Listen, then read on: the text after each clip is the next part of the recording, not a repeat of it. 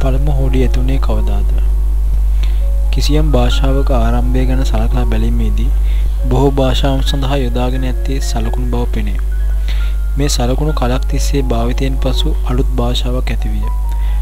භාෂාවක් බිහිවීම කතාවෙන් පමණක් නැවතුනේ නැත. ලිවීමේ කලාව කාලයත් සමග ඇතිවිය. ලිවීමෙන් අදහස් පළ කරන්නට හැකි හෝඩියක් බිහිවුණේ කෙසේද?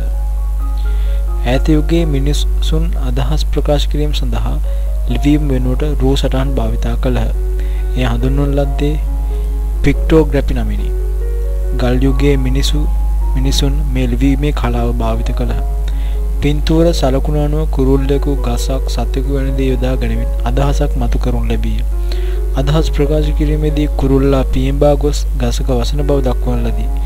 ඒ ඒ රූ සටහන් කලාව ලිවීම සඳහා යොදාගනු ලැබිය. ඒ සඳහා රූ සටහන් හඳුන්වනු ලැබුවේ චරිත ලෙසිනි. මේ සලකුණු මගින් ශබ්ද උපයෝගී කරගන්නේ sannivedanaya සඳහාය. විවිධ ශබ්දවලින් විවිධ වචන සාදා ගත්තා. පළමු ශබ්ද සලකුණු ඇති වූයේ කෙසේද? අවුරුදු 3500කට පෙර ෆිනීෂියන් වරු නැගෙනහිර මධ්‍යධරණී ප්‍රදේශයේ පළමුවෙන්ම හෝඩිය සොයාගත්තා. පසුව ග්‍රීක සහ රෝම වරුන් ඔවුන්ගේ අකුරු හෝඩිය දියුණු කරගත්තා. මේ ෆිනීෂියන් වරුන්ගේ අකුරු හෝඩියෙන් දියුණු වූකි. ලෝකයේ අකුරු හෝඩිය ඇති වුණේ ඇල්ෆා සහ බීටා යන අකුරු දෙකෙන්. මේ අකුරු දෙක ග්‍රීක හෝඩියේ මුල් අකුරු දෙකයි. අකුරු හෝඩිය ඇතිවීමත් සමග දහස් ගණන් වචන නිර්මාණය කරන්නට පහසු විය. ඉංග්‍රීසි හෝඩියේ අකුරු 26ක් ඇත. මේ අකුරු 26න් අපි මොනතරම් වචන හදමුද?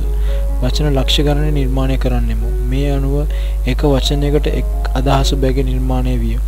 පසුව එක වචනයකට අර්ථ රාශියක් බිහි විය. බොහෝ දියුණු රටවල ජාතීන්ට ඔවුන්ගේම ආවේනික අකුරු හෝඩි බිහි විය. අකුරු ගණන වෙනස් වන අතර ශබ්ද කිරීම භාෂාවෙන් භාෂාවට වෙනස් වේ. මේ වගේ වැදගත් කරුණු එදිරිදා දැනගන්න channel එක subscribe කරලා bell icon ක්ලික් කරලා තියාගන්න යාළුවනේ. ඊළඟ වීඩියෝ එකෙන් හම්බෙමු. සුබ දවසක්.